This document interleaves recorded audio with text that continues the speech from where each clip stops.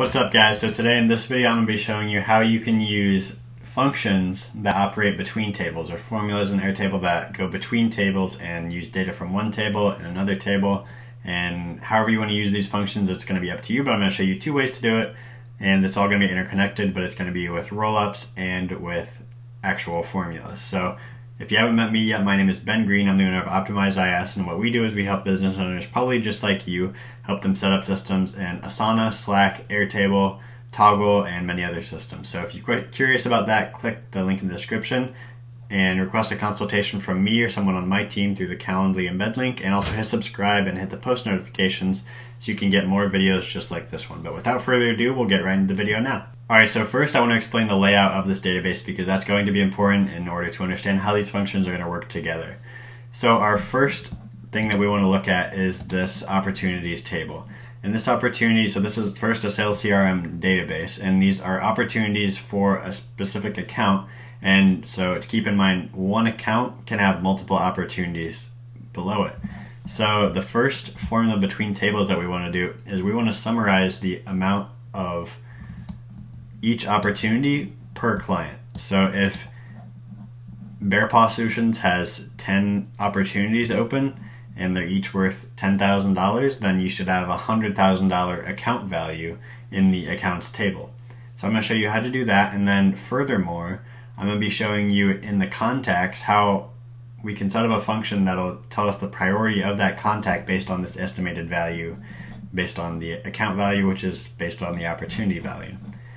So to do that, I'm gonna first you're gonna be setting this up in the accounts table because this is a one-to-many relationship here between accounts and opportunities, and we want to be summarizing that many data.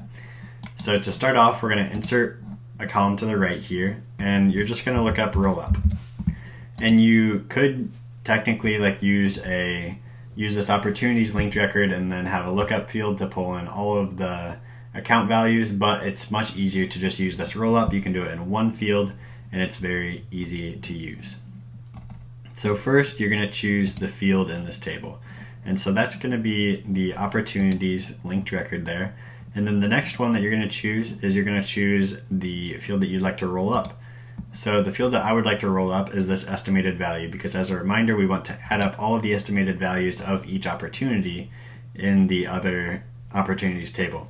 And you can also include linked records. So, like, say the opportunity has to be open, or you could say that the opportunity can't be closed. So you could set that up and you could add those filters here and you can add, I don't know exactly how many filters you can add, probably three or infinity, I'm not sure. So we're gonna leave that off, but you can do that if you want to, if you want to filter that those records down. And then here, keep in mind we just wanna add all of these up so we can get a total amount value. So this is where the function comes in and it's called a rollup function. And we can just type in some values and it'll already pulls this up here. And if you just want to click on that, that's perfect. So that's all you need. So this is going to add up the values in this linked record, pulling from the opportunities table and now bringing it into the accounts table. So if you go ahead and click create record, you'll get the sum there. Actually, you can say account value. So that is a roll up of all of the different open opportunity, or er, all of the opportunities that could be closed, that could be not closed, etc. We didn't add those filters in this one, but this is what you have right here, and you have each account value in here. So another thing to notice is you have contacts here. So now we're going to be taking this data, which is rolled up from the opportunities table, and we're going to be bringing it into this contacts table. So the contacts table, this each each contact only has one account, but each account can have, you can see like some in here, there'll be like two contacts per account, and that doesn't really matter as much, but it does matter that the contacts only have one. So if we insert a field to the right here, and we do a lookup function, because we're going to do a little bit more of an in-depth one with this. So for this lookup, we're going to be looking up from the account table and we're going to be looking up the account value, which is also a roll up from that other field. So we're going to say this is the value. So that's the account value.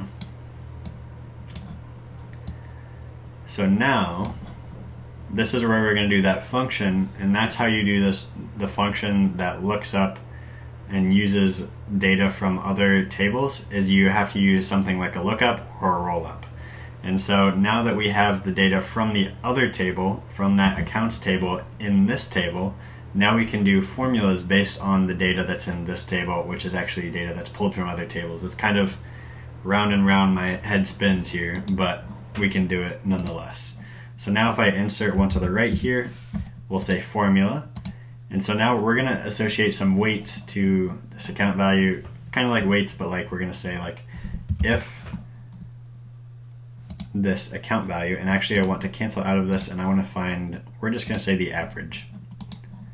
So we'll insert right here and we'll type in that formula and we'll say if so now we're going to play off of this dynamic data here from the other table and we're going to say account value so account val if that is greater than 28737 then we're going to say high and if it's false we're going to say low so we'll see if that works out. So that looks like it did. Um, so now we can see that if the account value, so if it's greater than 28737, it should be high, which you can see that's the case for that one. And if it's lower than that value, then it's going to be low. So we can find another one there. That one should definitely be low, and all of these others that are above that 28737, and that's not going to be dynamic data because you can't pull off the average there. But it's going to give this high priority or low priority, and so that's keep in mind that is based on the data in the accounts table technically, but we have that lookup record.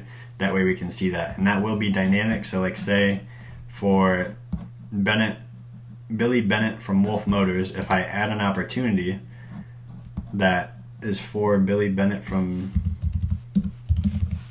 If I add an opportunity for Wolf Motors, and I say that estimated value is fifty thousand or five hundred thousand or something like that, and I go back into the contacts, and I go to Billy Bennett, and now change that to high, and so you can see this is an astronomically high number, but this is actually taking something from two tables ago from a roll-up field and now bringing that into this table. So I hope that helps you understand how you can use this dynamic data from different tables and other tables and do like if statements or lookups or rollups or whatever you want to do.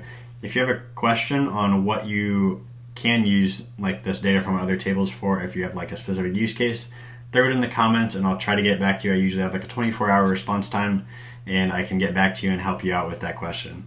If you have a bigger problem, then you can request a consultation to speak with me or someone on my team. But also go hit the subscribe button and the post notification bell and keep watching for more Airtable videos.